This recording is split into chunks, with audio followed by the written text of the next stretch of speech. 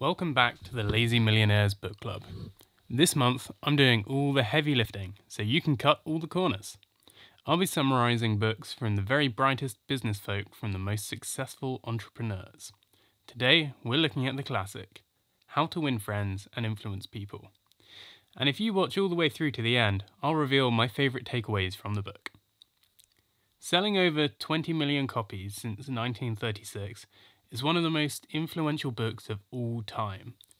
It shows you how to be a leader, how to win people over, and how to make yourself a better, more likable person.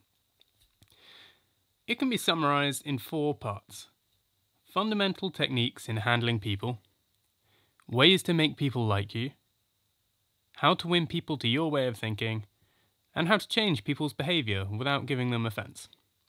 Ready? Let's begin. Fundamental techniques in handling people. Let's start with this. Avoid criticizing people. It doesn't take much of a mental leap to realize that criticizing people won't win you any friends. But what can you do instead? Let's imagine you're a magazine editor for Drainpipe Monthly. Come on, guys, we all read it. Your designer has done a truly terrible job of creating the cover for this month's issue. It would be easy to criticize your designer and tell them they've done a terrible job, but that would only lead to feelings of resentment and anger from the designer. Instead, you could ask questions to try and understand why your designer has created such a bad design. It could all simply be a misunderstanding, and it would be far easier to suggest changes after you find out what the underlying issue is. After all, it could be your fault for not specifying correctly, and the designer would very much be on board with that idea, rather than it being their fault. In short, avoid criticising. Next, give honest appreciation. There's a difference between flattery and appreciation. Appreciation is sincerely taking up someone else's good points, and it's unselfish and generous. Flattery is the opposite. It's selfish and false. You're just telling people what they want to hear, and it'll be very hard to sound genuine. They'll realise you don't mean any of it and won't trust you. Anne Boleyn flattered Henry VIII for years, and look where it got her. Certainly not ahead. Ways to make people like you. Become genuinely interested in people. People love to talk about themselves. Listen to others, and you will get them to open up and trust you. Imagine this scenario. At a party, one guy is hogging the room. He's dominating the conversation. No one else can get a word in. You try and say something about your Morris dancing, but he just talks over you. He's not listening to anyone else because they're not as interesting as he is, at least in his opinion. He doesn't realise you're all thinking, I wish this guy chokes to death on a cocktail sausage. He goes home without making a single friend. Now imagine this it's the same guy at the same party, but this time he listens to everyone.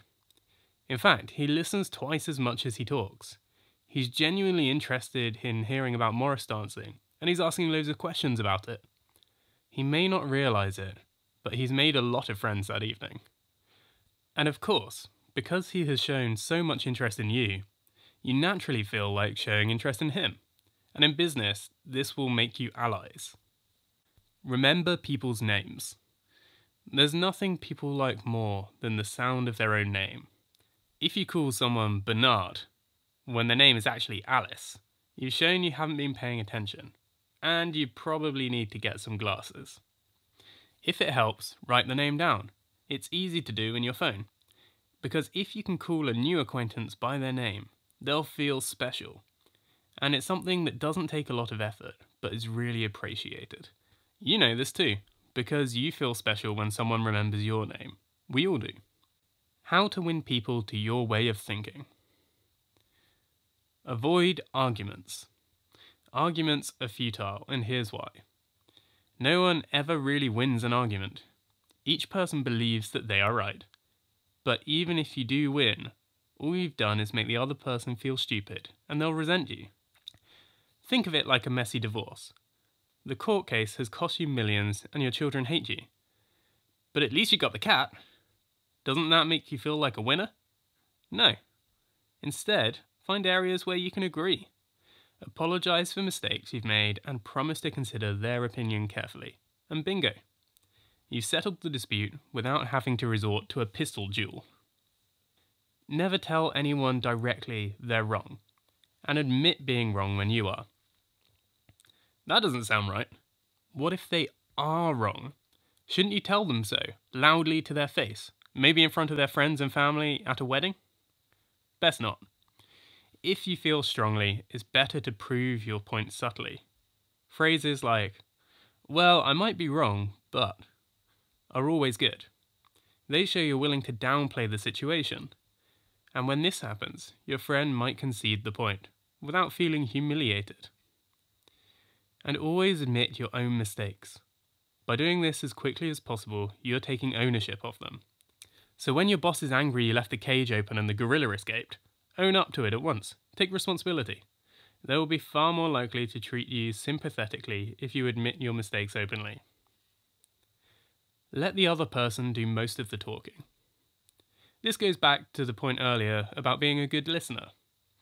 You'll learn things that could be useful and you'll convince them you're genuine, which leads to the next important point let the other person feel that the idea is theirs. People invest more in a project if they feel they have come up with the idea themselves. Add your ideas slowly and show excitement when they pick these up and run with them. Now you have a team. You'll have them designing and testing that jetpack before you know it. Appeal to their nobler motives. This is where you talk to the part of them that wants to do good the part that is honest and fair. We all want to think of ourselves as idealists. Encourage that in others and they will follow you. Throw down your challenge. Now you've listened to the points of view and appealed to their highest ideals, throw down your challenge. Make it exciting, fire them up, and they will follow you like a true leader. Imagine Winston Churchill, one of history's greatest leaders. What if he hadn't told the nation to fight them on the beaches? What if he hid under a table with a napkin over his head and told everyone to run away? Would you respect a leader like that? I don't think so. Be a leader. How to change people without giving offense. Take time to praise. You've heard the old saying, give credit where credit's due. Always begin with the praise. Take a child in a school. He's made some improvement in maths, but needs to do more. Instead of saying, well done, Timmy, you're getting the hang of equations, but your algebra looks like a donkey has done its business on your homework. Try this. Well done, Timmy. You're really getting the hang of equations. Work as hard on your algebra, and you'll soon get good at that too. Timmy will feel pleased with the praise and hopefully filled with desire to get better at his algebra, and he won't start crying. It's a win-win. Ask questions instead of giving orders. Again, this is all about making everyone in the room feel like they have a stake in the project. Encourage their ideas and you'll have a devoted team. Simply give orders and they'll feel ignored and won't work as hard.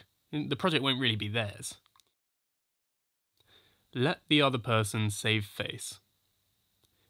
Don't shout at someone when they make a mistake. Everyone makes mistakes, and it's human. Use considered words and show some kindness and understanding. You may have to correct someone, but you don't have to humiliate them as well. If you must correct a mistake, make it seem like an easy one, like, it's no big deal. Make the other person happy to act on your suggestions. The key here is to appeal to their imagination, and to use the word yes a lot. In short, just guide them along to your way of thinking. Okay, now let's have a quick recap of everything we've covered. Firstly, Appreciate, don't criticize. Secondly, to make people like you, you need to listen to them and show genuine interest. Remember, it's all about them and not you. Thirdly, you can win people to your way of thinking by avoiding arguments, appealing to their nobler motives, and throwing down a challenge. Finally, you can change people's behaviour without offending them by asking questions, instead of shouting orders at them. There you are, you're already a better person and a better leader.